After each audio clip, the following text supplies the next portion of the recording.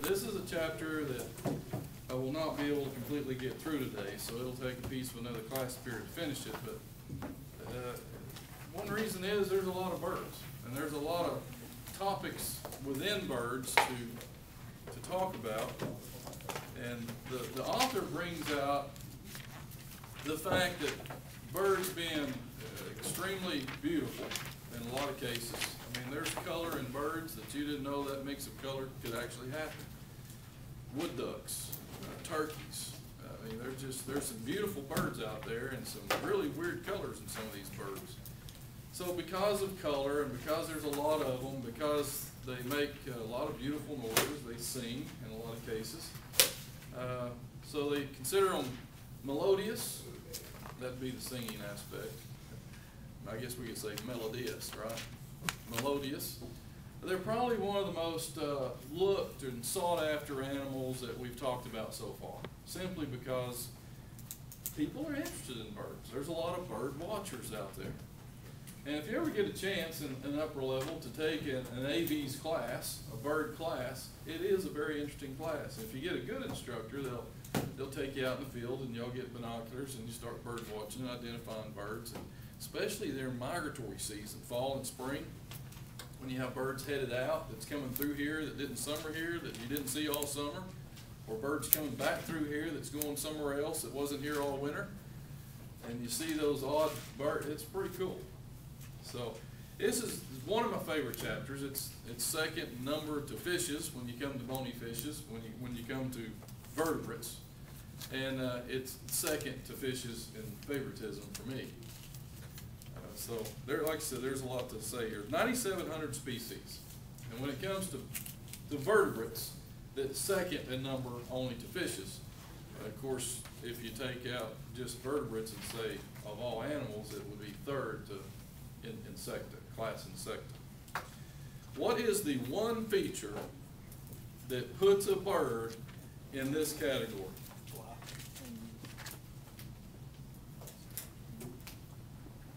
Those are two common answers, and as close as they may be, it's not the correct answer. He said capability of flying, she said wings. Bones. Oh, we're getting technical. That's a great feature, we're gonna pinpoint that feature, but that's not the one feature that makes a bird a bird. Feathers. Feathers, that's where they come up, birds of a feather flock together. There it is, it's feathers. And one thing this, he brings up a unique point here, this book does not cover this, It- it's crazy, it should be in every chapter. You have two categories of birds, you have one called ratite, and another called carinate. See, I took a bird class, so man, I'm up on birds. Ratite birds do not fly. That's why you categorize them this way. Carinate birds fly. And ratite literally in Latin means flightless. Carinate means a keeled sternum. In other words, they have a big breast, which that's the, that's the two main muscles involved in suppressing and depressing the wings. And uh, pectoralis and supracorportis are the two muscles. And uh, the pectoralis is the largest because it has to do the most work. And so carinate birds fly, ratite birds don't. Now, when we get over toward the end, there'll, there'll be another couple of categories of birds. And, uh, and basically it'll, it'll set apart birds that are hatched with down on them, like chickens and fowl. As soon as the down dries, they're ready to go with mom and travel, whether it be swimming across a pond or walking across a field, they're ready to go. And most all your common fowl are like that. Or there'll be another group of birds that are considered, when they're hatched, they're naked and helpless. And that could be uh, birds of prey. Uh, the order Passeriformes I mentioned earlier, which is sixty percent of all birds, and that's songbirds, where both parents are essential. You gotta have both parents just to keep enough food in their mouth. So, you know, that, that, the type of bird it is will, will play a huge role on whether it requires both parents or not to keep these offspring alive. So, anyway, uh, it touches on that right at the end, and we'll get to that one as we, as we get to it, so. we'll find that most all birds, uh, specialize, and there's the largest group specialize in, in some kind of capability of flight. And so the entire bird's anatomy is built for that, even to the point of, of the spine being somewhat fused together. Uh, there's a little bit of looseness in the neck where they can move the neck, but if everything's fused together and more solid, and even getting down to the mass of the legs is in the upper part and very, you have tendons and thick skin in the bottom part, even so tough that it's hard for them to freeze. But even the center of gravity is confined to a, a bulky mass in the middle. And so built for flight in that aspect, built for flight with hollow bones that was mentioned. In fact, you could take all the bones of the largest bird out there called the frigate bird with a seven foot wing span and pile all his bones in one pile and pile all his feathers in another pile and the feathers will outweigh the bones. That's how unique the bone structure is. And birds of flight will have seven interconnecting air sacs that store excess oxygen for strenuous flight exercise. Their lungs can't always, you ever reach a point, I mean, if you went out here and somebody told you to sprint from here to the student union, you think you'd make it alive? Oxygen content would become rather low in me by the time I got outside the building. So, in their case, they use reserve.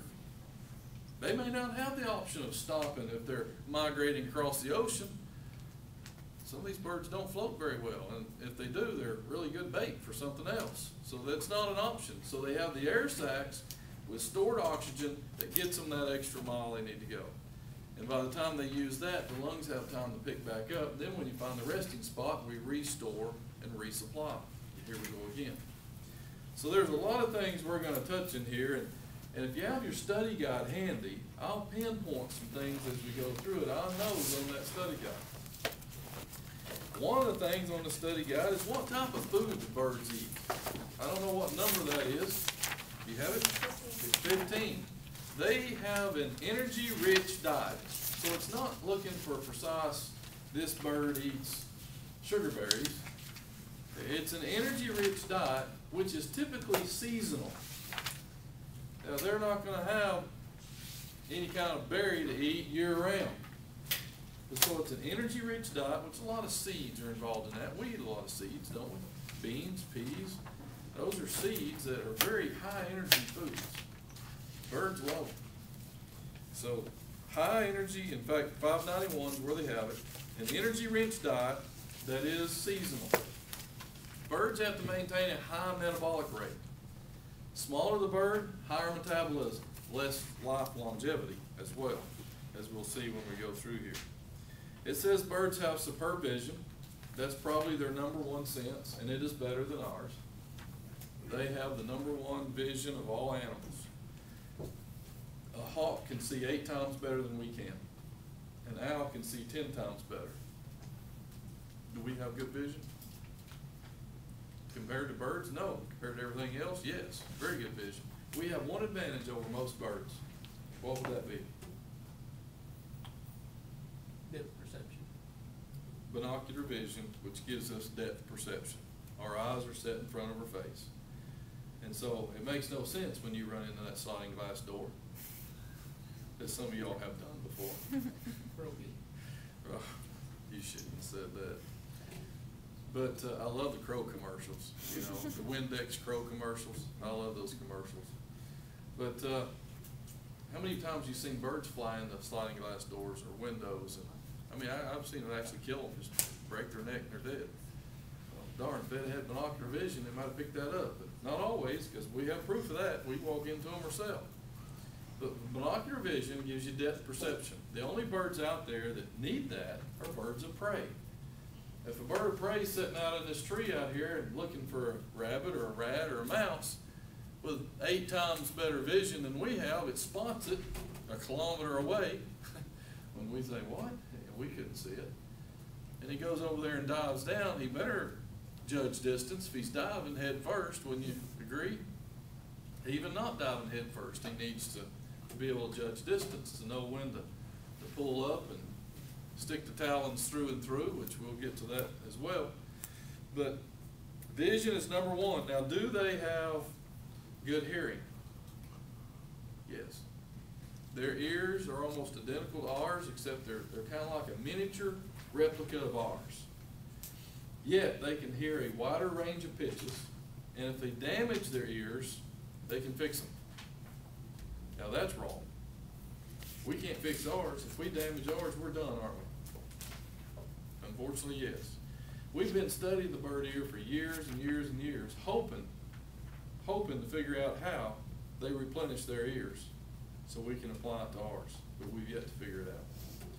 And they have another unique feature on their eyes, and we still don't know what the purpose of this is. It's called pecten, and it's a covering in the eye. Obviously, protection, but is that all it is? Some say it, it's a nourishing factor of the eye. Have no idea. They really don't know either. They have some theories, you can read through it, find, look at the theories, but we really don't know, but they do have a pecten. All right, moving on from there to, we get into feathers, and we have all kinds of feathers, but feathers are basically made, basically contour feathers, this is what they're gonna describe, and we're over on five oh, five ninety-five now.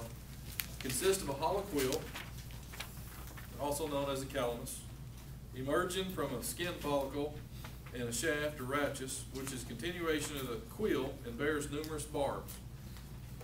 The barbs are arranged, I'm, I'm gonna read this little description here, and then you tell me what that describes in your mind. What, what does it remind you of, okay? The barbs are arranged in closely parallel fashion and spread diagonally outward from both sides of the central shaft to form a flat, expansive web surface, the vane. There may be several hundred barbs in a vane. Through a microscope, each barb appears to be a miniature replica of the feather, with numerous parallel filaments called barbules, set in each side of the barb and spreading laterally from it. There may be six hundred barbules on each side of a barb, with, with more than one million barbules for the feather. Barbules of one barb overlap barbules of a neighboring barb in a herringbone pattern and are held together with great tenacity with tiny hooks.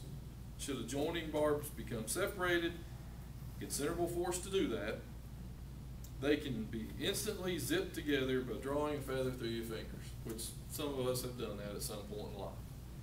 What is that describing that we use every day in our life? Velcro. That's exactly right. I don't know if that's a test, uh, seems like that's something on the study guide too. But feathers are made like Velcro. A bird spends a massive amount of their life preening. Preening is a term that they use their beak to repair their feathers. And they've got a little oil gland back by their tail feathers, and they'll reach back there and get a little oil on their beak, and it'll help them to smooth out the feathers and the, and the zip. We can take a feather and run it through our fingers, and we can zip back nearly the whole thing. It Takes them hours to zip back a feather, but they spend a lot of time of their life keeping their feathers in good shape because that's essential for flight. It's essential for escape and well-being. Types of feathers, we have contour feathers, we have flight feathers, we have filoplume feathers. Anybody ever been involved with grandma and grandpa butchering a chicken? Holly, I know you butchered a chicken. Nobody else? I butchered a billion of them. You butchered a billion of them? Chicken back for five years. Oh, you've been there. Was you involved in, y'all just rip the skin off most of them, don't you? Do you pluck many at the plant? No. Not many Boil pluck? it off. Boil it off. So, well, when, when grandma did it, she, in essence, she did the same thing. She'd take this chicken and dip it in boiling hot water. And that would scald the feathers where they basically fell off, but we'd take and pluck them all off, and they'd come off a lot easier. Now, if you just took a, a, a chicken that you just pulled its head off and started pulling feathers, you'd be there forever. And you wouldn't get all the feather pieces and parts, but by boiling it, the skin turns loose of this feather, which is a dead structure, it's just like hair on your head. It- The feather itself is a dead structure. But when grandma get finished, all the feathers are gone. If you held it up in the light, you can see all these little hairs. Well, the hairs are called fiddle feathers. So what do y'all do with the hairs? We can burn them off. Yeah, to say, send them somebody else, let them deal with those, right? Grandma would burn them off. It's exactly what, she- my grandmother would have a feed sack out there, an empty feed sack, she'd set it on fire, get enough flame going, she'd just take the flame all the way around the chicken, and it will singe all the hairs back, and we was good to go. I mean, that's it. It's much more difficult to pluck a chicken than it is to skin a chicken. Skinning's easy, but, but the skin sometimes holds taste, and depending on what grandma was gonna do with that chicken, if she was gonna fry it, she wanted skin on it, because it held moisture and it held taste, and it held the, held the fat content. But if she's just gonna make dumplings out of it, she'd probably go ahead and skin it, and throw it in the pot, because she's gotta cook it down anyway, so it just, it just depends. So that's a filoplume feather. Then your down feathers are closest to the body, really holds the warmth for them. And then powdery down feathers is only found on certain species, and they list bitterns, hawks, and parrots, and a few herons that may have those as well. Origin and development, well, as we said, it comes from live structure, but becomes, it comes from a live structure and becomes a dead structure as it develops, and it actually unrolls. It unrolls out of skin, and like our hair that just grows up out of skin, a feather will unroll itself. And they describe that as unrolling itself out of a hollow cylinder. Move on over to five ninety-six and we get into molting. Now that we've grown the feathers, we have to molt them and grow them back, because after a while, all feathers will get worn down. Well, here's you a test question. This is a study guide question somewhere on there. Now, I'll ask, how are feathers shed? What number is that? Twenty. Number twenty. They are shed in a highly orderly manner. In fact, the second sentence says shedding or molting of feathers is a highly orderly process. So what is that saying? That's saying if we lose two feathers off the tip of the left wing, we're gonna lose the same two feathers off the tip of the right wing. And we're gonna grow, as we grow those back, we may lose two more down beyond that as these come back. Typically, they don't shed them all at once. Now, waterfowl will tend to shed all their flight feathers at once, which will actually ground them, not capable of flying. But this is usually in the summertime, when they're living in Canada in cooler weather, and they have lots of water in Canada, so they can live out on the lake and not be threatened by a mass of predators. So, and that's a temporary time frame. but the only one that they claim in the book, and the way the book reads, it took me a long time to really think about this. The way the book reads, it, it reads that penguins shed all their feathers at once. So I can just imagine a penguin popping out of the water, living on bank here a couple days and say, oh, it's time to shed, and they just drop their clothes, and we have a naked penguin sitting there. That's what, it- I mean, that's way it reads. It says, uh, feathers are discarded gradually to avoid appearance of bare spots, and that's with the average, the average bird we're familiar with, chicken or whatever. And then, uh, flight and tail feathers are lost in exact pairs, just what we was talking about. Then it says replacement emerges from the next pair, as the next pair is lost, and merge, uh, and most birds can continue to fly unimpaired during the molting. Down below that, it says, uh, well, I know it says it somewhere in there. Where does it say the penguins? Except in penguins. I'm still not seeing it, but I know it's there, because I saw it yesterday. Oh, feathers are shed all at once except in penguins, which molt, uh, feathers are shed in a highly ordered process except in penguins who molt all at once. So they, to me, they just leave it out there and wide open that it just shucks as all, the feathers fall off and he stands there until he grows feathers back and that would be one ugly little bird, wouldn't it? That's just, that's just not right, so, uh, he pretty much does his molting in a short time frame, is what they're saying, and, and there'll be bare spots and there'll be naked spots, and it- you're gonna grow back pretty fast. It's just not as in the orderly process of all other birds, is what they're saying. The skeleton, we pretty much covered, we know it's pneumatized bones, which means hollow, the bones are lightweight, they're, they're made for flight, we pretty much covered that. We've also talked about how the uh, vertebrae are fused together to maintain a center of gravity. Uh, bones of the forelimbs are all modified for flight. Uh, It's specialized. Muscular system, we have two muscles. We have the pectoralis and supracorcoris. The pectoralis depresses the wings, which is gonna give you lift, so that's gonna do most of your work. And the supracorcoris is gonna raise the wings to, to depress again, so that does the least amount of work. Now, a few species of birds are hovering birds, like a, a hummingbird. A hovering bird, those, both those muscles are well developed because you're gonna have to really depress and suppress really fast. So those are the main ones involved there. Now, if you get into muscles down in the legs, I mean, granted, what, what, what's your favorite part of a chicken to eat? A lot of people likes the leg. Uh, It's a convenient aspect as much as anything. But probably the breast is the most popular because if you buy quality chicken nuggets, I'm not saying McNuggets, I'm saying quality chicken nuggets or chicken strips, or if you just buy, go down the store, you buy a chicken breast, is that not overall the best meat on the chicken? Well, and the second choice for everybody would be the chicken leg probably. So when you get down the muscle, the muscle mass on the leg is held really in one area. Because when you hold the bottom of the leg, you're not holding anything but bone down there, right? The only thing that goes through there is the ligaments and stuff. And ligaments goes down the leg into the foot. And that's what they're talking about here is that the most of the mass is in the upper part of the leg. The rest of the foot is bone, ligaments, and skin. Okay, so because of this, this, these ligaments running down through there, birds have what's called an ingenious toe locking mechanism. And this toe locking mechanism is a tendon that runs down through the, the elbow or the knee area of the bird and into the feet, or the toes of the bird. And this tendon, it- technically, it's perfect size, but technically it's too short, and that's what makes this work. When the leg is extended, the tendon's perfect length for the toes to be spread out. But as, as the bird would sit down or bend the leg, it automatically draws the toes because the tendon's too short for the toes to extend. A bird cannot extend their toes with their legs pulled up underneath them. And so if they sit down on the roost, they find a nice limb to sit down up in the tree at night. When they sit down, they're locked in. You ever wonder why after a windy or tornado night, you don't see birds laying all over the ground the next morning? They've been blown out of the tree, right? As long as they stay sit down like that, the wind may have spun them around the limb, but they hung on.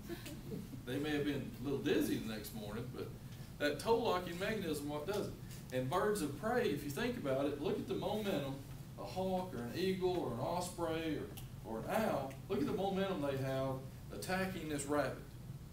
To the point, when they stop, their body weight's gonna suppress their legs, right? To the point, if they land on the rabbit, and momentum pushes their body weight into their legs and their leg comes up, guess what happens to the rabbit? The talons will pierce the rabbit through and through, literally causing death of the rabbit at that point. And then when they take off, being high lift wings that we'll talk about here in just a minute, when they take off, they keep their legs pulled up, which they hold on to the rabbit. If they ever extended their leg, they'd lose grip and lose the rabbit. So that's how the muscular system works and their ingenious toe locking mechanism works.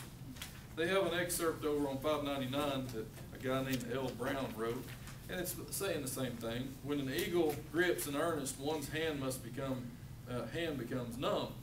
It's quite impossible to tear it free or to loosen the grip of the eagle's toes with the other hand. One just has to wait until the bird relents, and while waiting, one has ample time to realize that an animal such as a rabbit would be quickly paralyzed, unable to draw breath, and perhaps pierced through and through with the talons in such a clutch. So there it is. Food and feeding. Oh, as, as far as birds go, we already know what type of food that they eat. Now, every bird specializes in their type of food. You can see the different kinds of beaks there on the right hand, on the left hand page. The raven's got to be a favorite because that beak will do anything. It's a general beak. That beak will eat grandma's pie or your pecan. It doesn't matter. Uh, I saw, anybody ever read Far Side cartoons? Are you familiar with Far Side cartoons? Oh, boy. Leaves my jokes out these days, but Far Side cartoons are science-based cartoons. And science-based meaning there's, there's an animal involved in it somehow. And it, the one that, I think I still have in my office somewhere, I cut it out because it had, it had two old crows sitting up on a highline wire. And a semi had just run over an elephant. Yeah, this elephant was just plastered in the highway. And then the caption on the crows was, a crow's dream. I mean, he could eat on this all day. You ever seen crows picking at roadkill? Sure. Well, crows, crows have attacked my lunch when I've been camping before. They broke into the bread, whatever, you leave it out, chips, it doesn't matter. Crow will eat anything. Ravens or crows, whatever you wanna call them, old crow. So cardinals are seed crackers, American avocet worm burrow probe, pelicans a dip net, parrots a nutcracker, flamingos zooplankton, filter feeder, if you will. Anhinga's a fish spear, and eagle's a meat terror. So you can see all these little funky looking beaks are specialized in the food sources that they eat. So most of them have a crop. Food goes down the hatch into the crop, crops for storage. Go from the crop to the gizzard. Giz- Gizzard's just a muscle with a, a Goodyear rubber lining. I mean, it, it is a tough rubber lining on the inside of that gizzard. And people say, well, gizzards are tough, you can't eat them. Well, that's, that's a, a highly worked muscle in a bird. But if you take off the rubber lining, it's just another muscle. I've known people to clean gizzards and think they're gonna cook gizzards up and then they chew on them forever. They didn't take off the rubber lining. Why wouldn't you peel the rubber lining off? That's where all the food is ground up. Just think about how tough it's gotta be. Some of these seeds they eat are hard as a rock, aren't they? Throw corn out there, is corn pretty hard? You can't take it and mash it, can you? And they've gotta grind this up. So a lot of these birds, what they'll do is go out and get something harder than what they're eating to put in their crop and gizzard. It'll eventually make it to the gizzard. So the gizzard muscle has something to work against the food that they're trying to break up. You know what you'll find in there most often? One of two things, if not both. Rocks. Gravel, rocks, and glass. So, well, that glass will cut them all to pieces. It won't cut that, that Goodyear lining. It's tough, I'm telling you, but it, it will cut all the seed products that they eat. And after a while, the rock or the glass will actually smooth over and it'll grind the edges off of them and they'll go get some more. How many times you seen turtle doves fly up from the side of the road? Yeah, well, you gotta know what turtle dove look like, don't you?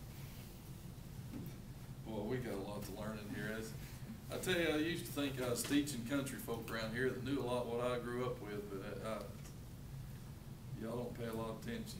You ever seen the Geico commercials where the squirrels would get out in the road and cause a wreck? Anybody ever see that one? One of my favorites. The squirrels give each other high five because they cause a wreck. Well, these birds, um, you've seen birds in the edge of the road that fly in front of you. Those are probably turtle doves, okay? They're not there because Geico paid them to be there. They're there because they're picking up rocks on the side of the road, or glass, or somebody's throwing a beer bottle out, and they thought they'd get a little beer taste while they was getting a piece of that bottle. And they, and they, and they wait till the last minute and say, oh, here comes a car, wait just a minute, right in front of you. You go, Cause wreck. Well, they're getting those things in their crop, which will end up in the gizzard to grind up fruit, food processes or the food components that they're gonna consume. And actually, out of some of the rocks, they'll get enough calcium that'll help for eggshell development. And, uh, if you take calcium supplement, if you, uh, if you go to Walmart and buy the cheapest calcium supplement you can buy, it's probably an oyster shell based supplement, you'd be just as good, just as well off sharing those rocks with those doves. That's how much you're gonna get out of it. Out of a five hundred milligram tablet of oyster shell calcium, your body will get fifty milligrams out of it. Now, I'm not telling you to go chew on some rocks. I'm just telling you, that's not money well spent buying oyster shells, because we don't digest it very well. All right, so that makes us through the digestive system, uh, except for the fact that when everything's done in excretion, or maybe excretions are gonna be on the next page, I'll go ahead and do excretion. When we get to the excretory aspect of it, we don't have urine in birds.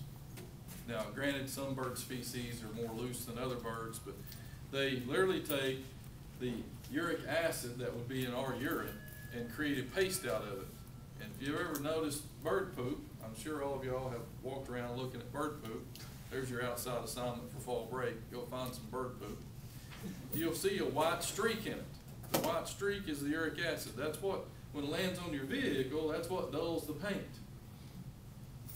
Now you know. You've always heard bird poop would dull your paint. Of course, I don't want any poop on my vehicle, but It will because of acid, because they solidify the acids. Now, birds that live around marine areas, would you say they'd eat a lot of salty food? Seagulls would eat a lot of salty food, so they have another problem to deal with, excess salt. They have two ways to get rid of it. They excrete it in the feces, which get, makes their feces really runny. So, if you ever been around gulls, anybody? They're nasty. I mean, they, if, if you find a place where gulls perch a lot, that's gonna be where they poop a lot. And they may have just pooped three or four times, it'll cover an area that big, cause it'll just splatter. I mean, it's just nasty. So, the type of food they eat. The other way they get rid of the excess salt is they have special salt secreting glands in the corner of their eye. Would you like to have a salt gland in the corner of your eye? So, if you think about it, these gulls, and it runs, the salt glands produce the, the salt secretion through their nose. So it actually gives them a runny nose all the time, and it makes them look like they've been on a drinking binge. So they have these bloodshot eyes and a snotty nose all the time. Does it get any nastier than this little bird? Man, he's been drinking a lot all night. Look at his bloodshot eyes, and look at that runny nose, and geez, look at this crap. Hey, doesn't get any nastier than that. But that's, that's, that's the excretion aspect of birds. Now, it'll tell you in there that their capabilities are, oh, anywhere from four to eight times of concentration of the blood as far as getting rid of waste. Uh, Mammals do a lot better, uh, we don't, we're, we're about four point two times that of blood osmotic concentration when it comes to waste components, uh, and dealing with, uh, dehydration or water. Um, a camel, which you'd think deals, does well in a desert arid environment, well, it doubles what we do, they're about eight times, they can concentrate blood osmotic concentration. Anybody ever had a pet gerbil? Gerbils can concentrate fourteen times that, so you clean that cage all the time, or mom and dad's ready to kill you and the gerbil, because those things stink. And then you get into the one that's most significant, uh, because the environment it lives in, he has no moisture to consume at all. All the moisture that this animal gets is completely from the food sources he eats. Ten percent of free moisture, ninety percent of metabolic moisture from breaking down the food. And that's the Australian hopping mouse. That's one unique little mouse. He can concentrate his urine twenty-five times that of blood osmotic concentration. Now, a little bit of that urine would stink up a cage in a whole fast way. So, there is specialties out there in these different animals. They're gonna tell you in that section as well. The circulatory system, four-chambered heart, closed system, pretty high pressure. Pretty high pressure. Heart rates, they give you some examples. A turkey heart rate's ninety-three. The, a good way to remember this is larger the bird, slower the heart rate. You drop from a turkey to a chicken, we're at two hundred and fifty beats a minute. So longevity of turkey, would you probably assume it's a longer lifespan than a chicken? Sure, I would agree. Then you go to a black cap chickadee. A black cat, somebody, who's got the birds? Y'all doing birds? Somewhere in that report, put a black cap chickadee in there. Make a note of that. We've gotta have a picture of a black cap chickadee. That'll be in the songbird category, and that'll be naked and helpless in the offspring, so that is a type of reproduction that will require both parents. So, that's, that'd be your example in that. The black cap chickadee at rest, his heart beats five hundred beats a minute. When he's busy finding food, whatever he has to do, but he's busy, it jumps to a thousand beats a minute. Now, if you could sneak up on that bird and go boo, you could kill him. Because he can't afford to skip a beat at a thousand beats a minute. Can we afford it at seventy? We can skip a beat. We may not feel well, but we skip a beat and pick right back up and keep it going. Not that bird. You'd kill him. Sure would. So there's your circulatory system. Respiratory system, we already talked about air sacs, and that's your primary thing. Uh, lung system's basically like ours, where it's, it's all internal. It's very good for terrestrial, but we have the nine interconnecting air sacs. That's the big thing about birds. The nervous and sensory system. Uh, cerebral, the, the brain of a bird has a well-developed cerebral hemisphere. the cerebellum and optic lobes. Now, if you think about those two things, we already said the bird's eyesight's really good, so it makes sense optic lobes are gonna be large. Cerebellum. Do you think birds have to be pretty well coordinated to fly? What about birds flying in, in forested areas? If I was flying through a forested area, I'd miss a limb and it'd close hang me, just flip me right there, I'd be done. Or I'd be say, well, I missed that tree, bam, hit this one. You know, that, that'd be, birds, you don't see birds doing that in forest because of well-developed cerebellum. And then the cerebral cortex, the chief coordinating center of mammalian brain, and that would be us. That'd give us reasoning and thinking and uh, planning capabilities. Poor in a bird. Very poor. Very poorly developed and unfissured and very thin. Fissures are, they're really talking about convolutions. Convolutions are raised and lowered areas on the brain. Our brain has the greatest amount of convolutions of any animal. And what that does is increase surface area for greater capability of thinking and reasoning and planning and those kind of things. In a bird, they just describe it as no fissures, thin, flat, nearly non-existent. Is that why the bird keeps building the nest in the same place, even though I knock it down every day? Either that or they're really stubborn. Yep, they get their mind set on something. The uh, cerebellum is large and the optic lobes are large, so that's what we're getting. Now, as far as just the, that, and that's a major part of the cerebral hemisphere is what they're pointing out here. Then they talk about the ear. We already mentioned the ear. We feel a little cheated on the ear because they can fix theirs if something goes bad and it's smaller than ours and they can hear a wider range of pitch. On the eye, we said their eyesight's better than ours. They talk about it as well, and they have this covering called a pecten. We still don't know much about that. Then we move into flight. On six oh five, as we move into flight, they call it flapping flight. I don't know what else you would call it. How else do you fly except flapping your wings? That's not true flight. So, now that's when they get into flying mammals, they'll list a squirrel. There is no such thing as a true flying squirrel. Now, Do we have a flying mammal? A bat.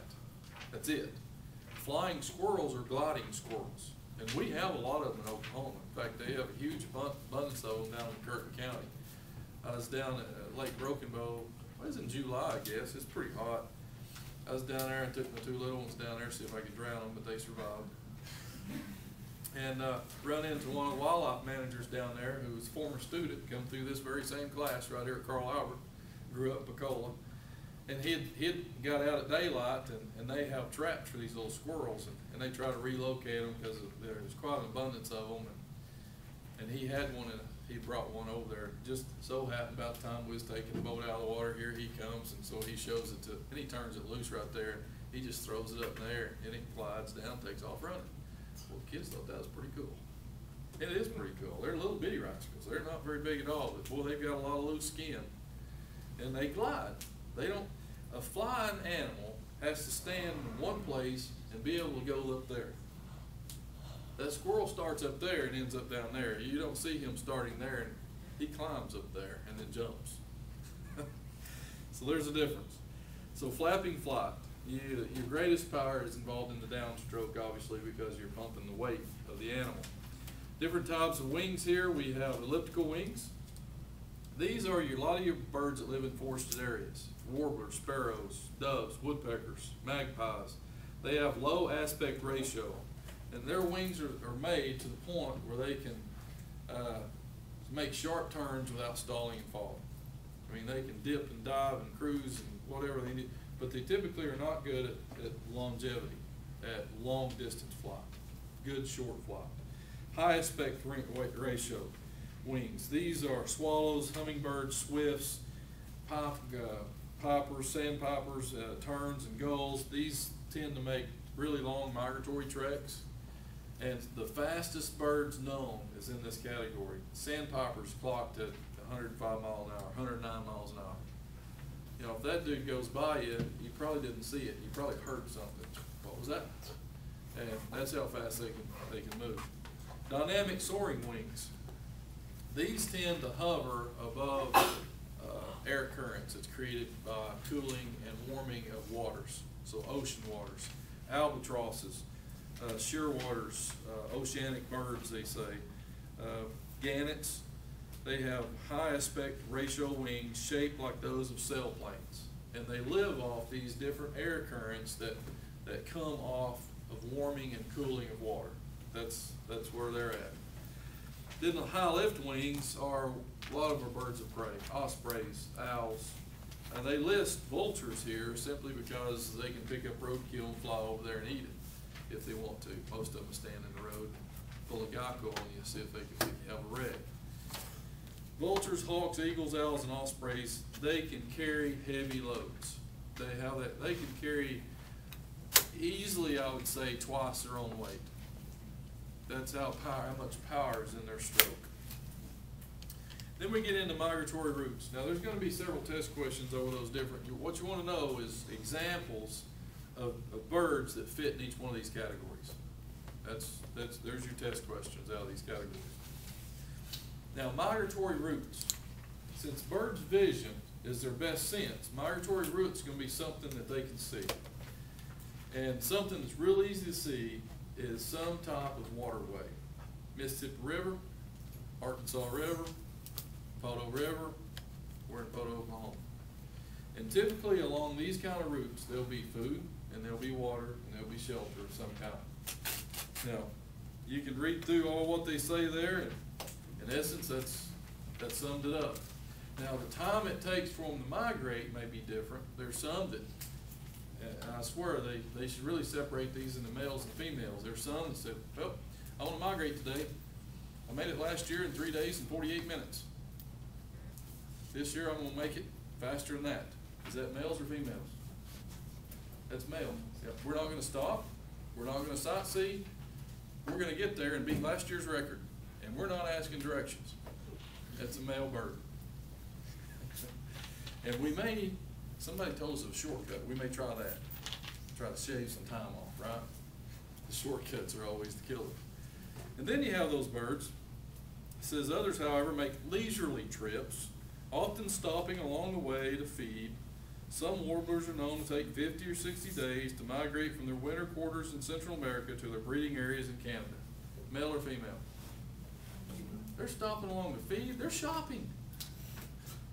They're sightseeing, they're enjoying it. They probably had to stop and pee fourteen times on that trip, but that's just the way it goes. So the landmarks, something to identify with sight is what they're following, so a waterway, a coastline, river, stream, that's what they're gonna follow. Now stimulus for migration, day length, there's your bottom line. Day length is your stimulus. As days become longer, that stimulates migration into their summer grounds where they're gonna reproduce. As days become shorter, the ones that migrate then will migrate to their wintering grounds, to a warming area. It's day length, bottom line. They could have left out that whole paragraph and just wrote day length and been done with it. That's exactly what it is. They do some explanation of how it, it involves hormones. Uh, It involves, uh, body storing fat. It's all involved there, but day length triggers it. Direction, finding, and migration. In, in birds in general, it's pretty instinctive. But if a bird's already been there and done that, would you rather them drive this time and you ride instead of you trying to find the way since you've never been there? So, experience plays a huge role, and usually the experienced birds will guide as long as they can.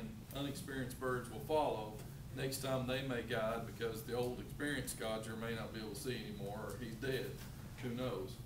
But they have an instinct clock or instinct direction finder built in, a nice compass. But they'll let the experienced birds do it first, and they'll continue to learn and build on their compass from there. Uh, direction finding. As far as how birds know where to go, we already said we use landmarks. Some, some say here that, uh, birds use celestial cues. They use stars by night and, and sun by day.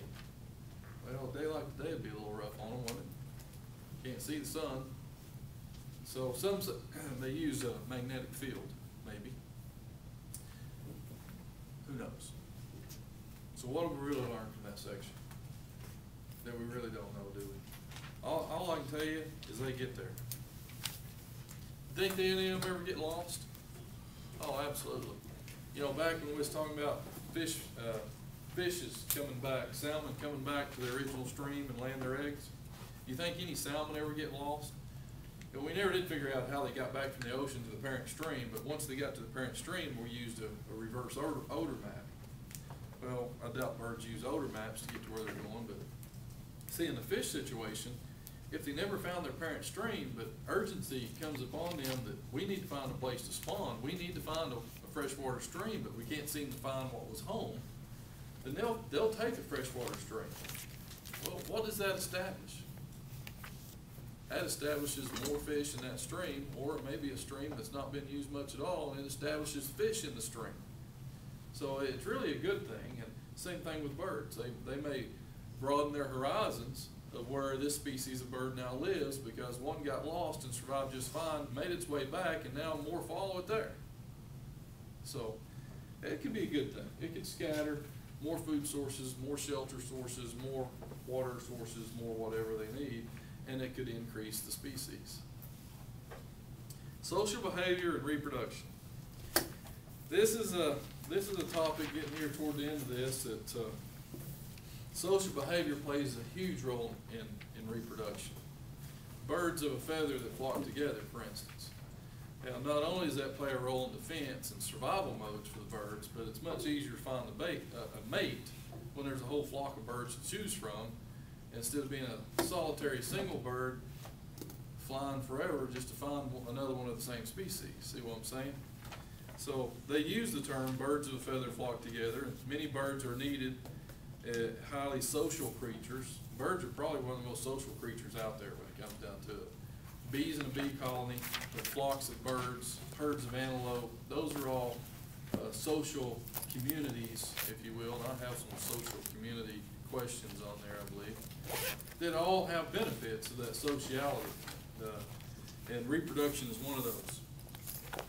There are some conspicuous exceptions here. It says, uh, that these are highly social creatures, especially during the breeding season. Seabirds gather, often enormous colonies, to nest and rear their young, and that, that is huge. Gulls, uh, a lot of those are huge colonies. Uh, land birds, with some conspicuous exceptions, such as starlings and rooks, tend to be less gregarious or less socialized than seabirds during breeding and seek isolation for rearing a brood. Now, they may not rear their brood in large groups of birds, but starlings in the wintertime will be pretty large colonies. They'll find their mate, then, then they'll leave the group as the group breaks up, as they find different mates, and then they'll be solitary and raising their young, is all they're saying. They're not saying they run around by themselves year-round, because they don't. Starlings are in large groups. So togetherness offers advantages, mutual protection from enemies, greater ease in finding mates, less opportunity for individual straying during migration, and mass huddling for protection against low night temperatures. So there's a variety of reasons why they do this. Certain species, such as pelicans, use cooperative behavior to feed. So at no time are the highly organized social interactions of birds more evident than during the breeding season as they establish territorial claims, select mates, build nests, incubate and hatch eggs, and rear their young. So birds are extremely social, and they're extremely territorial. Extremely territorial. The reproductive system. I think we'll stop right there. We got a little bit late start, but we'll stop right there, and, uh, we'll begin